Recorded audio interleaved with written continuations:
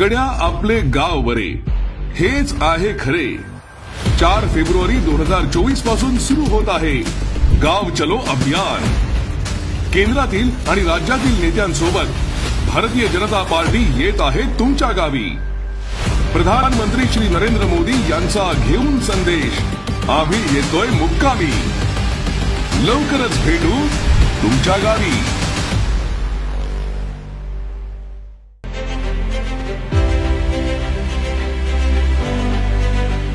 नमस्कार इनबीसी न्यूज़ की खास पेशकश, खास मुलाकात में आपका स्वागत है। दर्शकों, आगामी लोकसभा चुनाव के मद्देनजर सभी लघु दीर्घ दल अपनी चुनावी रणनीति आंकने में लगे हुए हैं और उसी बीच भारतीय जनता पार्टी द्वारा गाँव चलो अभियान चलाया जा रहा है, जिसके विषय में जानकारी लेने के उद्देश्य से आज हमने आमंत्रित किया है सुधाकर जी कोहड़े इनको, जो कि नागपुर ग्रामीण जिलाध्यक्ष है और 2014 से 2019 तक जो कि विधायक रहे हैं, भारतीय जनता पार्टी के एक वरिष्ठ नेता है। सुधाकर जी आपका बहुत बहुत स्वागत है हमारे स्टूडियो में। तो हमारे सवालों के पिटारे से सबसे पहला सवाल आता है कि गाँव चलो अभियान चलाया जा रहा है भारतीय जनता पार्टी द्वारा आगामी लोकसभा चुनाव के मद्देनजर। इसके पीछे की संकल्पना क्या है और किस प्रकार की जो है प्रक्रिया कार्यान्वित हो रही है? हमारे यहाँ नागपुर ज़िले में कम से कम पंद्रह सौ गाँव हैं। नगर पंचायत, नगर परिषद सब मिलाकर हमारे दो हज़ार बाईस सौ तिरसठ बूथ होते हमारे राष्ट्रीय नेता, हमारे परिवार प्रमुख, आदरणीय नरेंद्र भाई मोदी जी हमेशा कहते हैं कि भाजपा का कार्यकर्ता यह जनता से, आम आदमी से जुड़ा हुआ होना चाहिए। और इसलिए हमने गाँव चलो अभियान हमारे नेताओं ने दिया था। इसमें हर बूथ पे, हर गाँव में एक कार्यकर्ता वहाँ जाएगा। आदरणीय नरेंद्र भाई मोदी जी, हमारे पंतप्रधान महोदय इनके तो इन्होंने, भारत सरकार ने बहुत सारी योजनाएँ इस देश के लोगों के लिए लाई हुई है।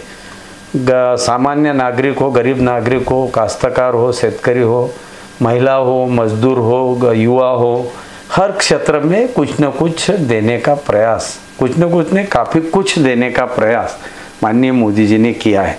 हमारी संकल्पना ये है कि कार्यकर्ता गाँव में जाए, वो नागरिकों से बात करे, उनको वो जो योजनाएँ उनका लाभ मिला कि नहीं मिला, लाभ लाभान्वित हुए नहीं हुए, उन्हें कोई अड़चन है, ये सारी चीज़ें देखकर, मोदी जी का पत्र लेकर, मोदी जी का एक मैसेज लेकर, हमारा कार्यकर्ता हर एक मतदाताओं से, हर एक नागरिक भाई और बहनों से मिलता है जुड़ता है, उनकी परेशानी समझ लेते हैं, उनके कब कुछ सुझाव होंगे तो वो भी लेते हैं और हम ये सारी सुझाव, सारी कल्पनाएँ हम केंद्र तक इस बहाने से पहुंचाते और साथ ही साथ हमारा बूथ मज़बूत करना, हमारा लक्ष्य है कि हर बूथ पर हम 51 परसेंट इक्यावन टक के मतदान मिलाना इसके लिए भी हम इस साथ साथ में प्रयास करते हैं। जैसा कि गाँव चलो अभियान ये जो है नागपुर के पारट सिंघा से चलाया गया है।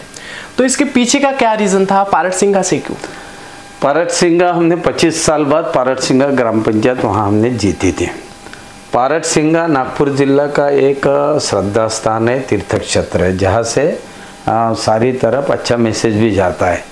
और कोई तो भी एक गाँव में माननीय उप मुख्यमंत्री महोदय जाना चाहते थे, वहाँ काफ़ी काटोल में हमने काफ़ी वहाँ काम भी बहुत कुछ किए हैं, वहाँ का डेवलपमेंट अच्छा है पारट सिंगा मंदिर का भी डेवलपमेंट अच्छा है। तो माननीय उप मुख्यमंत्री महोदय श्री देवेंद्र जी फडणवीस साहब ने बोला कि चलो मैं पारट सिंगा जाऊँगा। इस बहाने वो पारट सिंगा आए, रात भर रुके हज़ारों, हर एक आदमी से मिले, उनका स्फूर्त वहाँ स्वागत हुआ। वहाँ बूथ मीटिंग हुई, दीवार लेखन हुआ। महिला का बहुत बड़ा मेलावा हुआ। ये सारी चीज़ें हमारा पार्ट टाइम पार्सल है। दैनंदिन कामकाज का एक भाग था गाँव चलो अभियान को। माननीय देवेंद्र जी ने बहुत अच्छे तरीके से किया है। तो सर, देखा जाए तो अधिकांश क्षेत्र में कांग्रेस का वर्चस्व है। सीधे तौर पर बोला जाए तो जिला परिषद में भी कांग्रेस की सरकार है। साथ ही साथ जो है कामटी विधानसभा क्षेत्र एवं एक हिंगना विधानसभा क्षेत्र छोड़ा जाए तो कांग्रेस के विधायक है। इस बार आप ऐसा कौन सा फैक्टर आपके पास है जिससे कि आप भारतीय जनता पार्टी का झंडा वहाँ लगाएँगे? ये जो जिला परिषद में किसकी सत्ता है, किस ढंग से जिला परिषद काम कर रहे है, सारी दुनिया अभी जान रहे पूरा जिला परिषद जान रहे इसलिए उसका कोई असर हमारे ऊपर नहीं पड़ेगा। जिला परिषद काम भी नहीं कर रही भ्रष्टाचारों से लिप्त है। गायों का गाय बाटी उनको भी खा डाले। वहाँ भ्रष्टाचार पे हमने अभी एक बहुत बड़ा आंदोलन भी किया था। उनके एक नेता है कांग्रेस के, जिनके ऊपर आरोप निश्चित हुआ है। उनके चित्र लगाकर वो जिला परिषद चलाना चाहेंगे तो मुझे लगता है मैसेज ठीक नहीं जाएगा। इसका असर उन्हीं के ऊपर ज़्यादा पड़ेगा। दूसरी बात, हम संगठन पर हम विश्वास रखने वाले लोग हैं। हमने जब अपना संगठन अभी हर बूथ तक, हमने अभी गाँव चलो अभियान जो किया है, कम से कम हमने 1700 गाँव में हमारा कार्यकर्ता वन टू वन जाके आया है। हमारा विश्वास संगठन पर है और संगठन काफ़ी मज़बूत है, कांग्रेस उसमें कहीं नहीं है। और साथ साथ ये तो केवल मोदी जी की जादू है, मोदी जी की गारंटी है। मोदी जी ने हर घर नल दिया, हर का खेती वालों को शेतकरी सम्मान योजना के अंतर्गत निधि दिया। हर चीज़ हर चीज़। घर से लेके खेत तक, बच्चों को, कामगार, मजदूर सभी को। अभी तो विश्वकर्मा योजना आई है या। अठारह बारह बलूतेदार अठारह पकड़ जातियाँ जो होती है, जिसमें छोटे छोटे धंधे होते फूल माला बनाने वाला हो यहाँ, यानी अपन बोलेंगे विश्वकर्मा में जो छोटे छोटे आते जिसमें बोलते गवंडी हो मूर्तिकार हो माला बनाने वाला हो सोने के बने हो ऐसे जो छोटे छोटे इनको भी मज़बूत करने के लिए माननीय मोदी जी ने विश्वकर्मा योजना लाई तो ये हमारी योजना है। हमारे योजना का नागरिकों को होने वाला डायरेक्ट फ़ायदा। अभी अभी हुआ राम मंदिर जैसा ये एक बहुत बड़ा इवेंट ये इवेंट माना जाए तो ये हमारे हर एक 140 करोड़ देशवासियों का गर्व। इस राम मंदिर 22 जनवरी को जो दिवाली मनाई गई पूरे हिंदुस्तान में, वो हमारे लिए निश्चित तौर पर गर्व, गौरवान्वित करने वाला क्षण है। ये सारी चीज़ें लेकर जब मैं स्वयं जब पूरे नागपुर जिला में घुमा तो मुझे यकीन है, हम रामटेक लोकसभा काफ़ी अंतरों से जीत रहे हैं। सियासी गलियारों में चर्चा है, जिस प्रकार से आपने जिला परिषद की बात की, एक नेता पर भी आपने इस वक्त तंज कसा। सीधे तौर पर बोला जाए तो सावनेर विधानसभा क्षेत्र के सुनील केदार के क्षेत्र में जाकर आशीष देशमुख प्रचार कर रहे हैं गाँव चलो अभियान। के तहत। और वहाँ पे कांग्रेस का काफ़ी बड़ा वर्चस्व है, क्योंकि वहाँ विधानसभा क्षेत्र के विधायक सुनील केदार रहे हैं। तो ऐसा कौन सा फैक्टर है जिसको टारगेट कर कर भारतीय जनता पार्टी वहाँ अपना वर्चस्व बना पाएगी क्या लगता है आपको, ग्रामीण जिला अध्यक्ष हम कोई फैक्टर पे काम नहीं करते।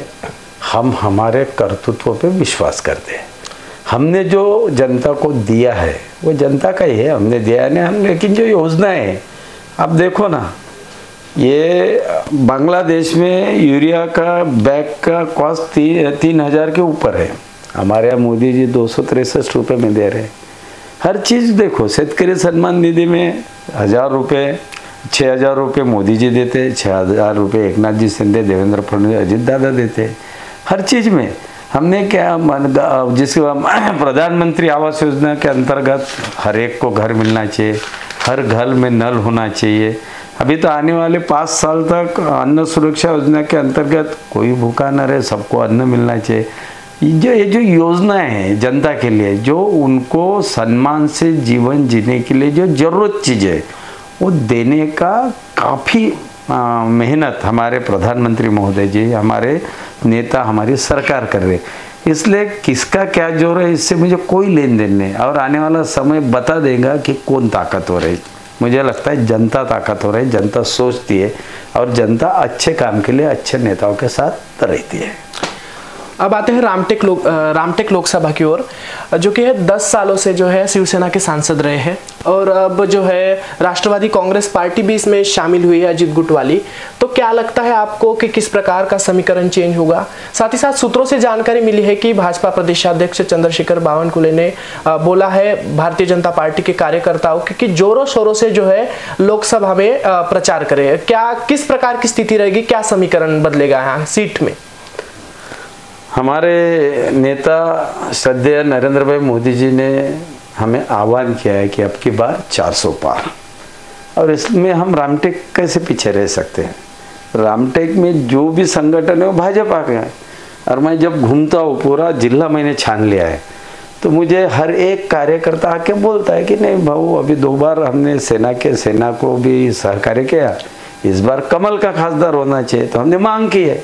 कि रामटेक लोकसभा ये कमल निशान पर लड़ेंगे। कमल चुन के आएगा और कमल ही आएगा मैं आपको बता देता हूँ। जो है साथ एक सवाल पर आते हैं। काटोल विधानसभा क्षेत्र के विधायक जो है अनिल देशमुख पूर्व मंत्री अनिल देशमुख ने कल जो है प्याज निर्यात बंदी के विषय में आरोप लगाया है कि भाजपा कार्यकर्ताओं पर प्याज फेंका जाए उन्होंने इस वक्त किया क्या प्रतिक्रिया आप देना चाहेंगे? मैं तो उनका अभिनंदन करता हूँ। ढाई साल मंत्री थे। क्या किया ये तो दुनिया के सामने आ गया अब मैं काटोल गया था, अब जाते रहता हूँ। वहाँ की डेवलपमेंट देखता हूँ तो मुझे लगता है कि लोग क्यों ऐसे लोगों को चुन कर देते? जिनका जिनका कोई संबंध डेवलपमेंट से नहीं होता है।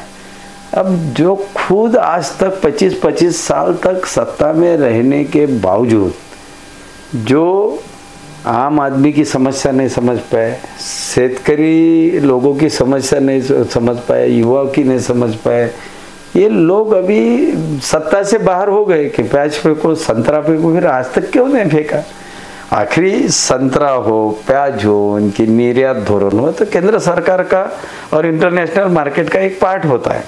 वो बात अलग है। वो तो आदरणीय नरेंद्र मोदी जी और हमारे केंद्र में जो हमारे नेता है उतने सेंसिटिव है कि हर दिन हर चीज़ कीमत और हर विषय पर वो काफ़ी काफ़ी ये रहते हैं, यानी सेंसिटिव रहते हैं। ये अनिल देशमुख के बारे में कुछ नहीं करूँगा उनको लोग जानते हैं। राज्य की सियासी सरगर्मी में अब नागपुर के विषय में भी जो है अशोक राव चौहान के भाजपा प्रवेश के बाद नागपुर के भी कुछ लोग कांग्रेस के दिग्गज भाजपा में जाने की तैयारी में है। ऐसी चर्चाएँ हैं। क्या कहना चाहेंगे? मतलब इसका क्या अर्थ है? जो भी आते होंगे देश के देश गौरव के लिए देश को देश को बढ़ोतरी की तरफ़ लेके ले, ले जाने के लिए और विकास के काम के लिए जो भी आते होंगे उन सबका स्वागत है। अभी अभी हमारे नेता प्रदेश अध्यक्ष जी ने कहा कि हमारे पास स्पेस है। तो स्पेस है। जो आएँगे हम उनको साथ लेकर काम करेंगे। देश हित में जो आता है उनके साथ उनके आने का हम स्वागत करेंगे। स्पेस की बात आपने कही लेकिन जो है विपक्ष निरंतर आरोप लगा रहा है और एक बात भी बोल रहा है कि जो है कांग्रेस फ़िल्टर होते जा रही है और पूरे जो घोटालेबाज है वो भारतीय जनता पार्टी में जा रहे हैं ऐसा उनका कहना है।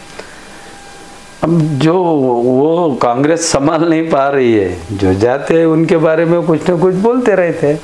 आखिर देश हित में कोई आएगा तो हम तो उनको साथ लेके जाए हर एक आदमी में कोई गलतियाँ कोई अच्छी चीज़ें होती है तो हम अच्छी चीज़ों का वापर करेंगे। गलतियाँ सुधारने का उनको मौका देंगे पार्टी हमारे स्टूडियो से आप गाँव चलो अभियान के जो सभी मतदाता एवं कार्यकर्ताओं को क्या संदेश देना चाहेंगे?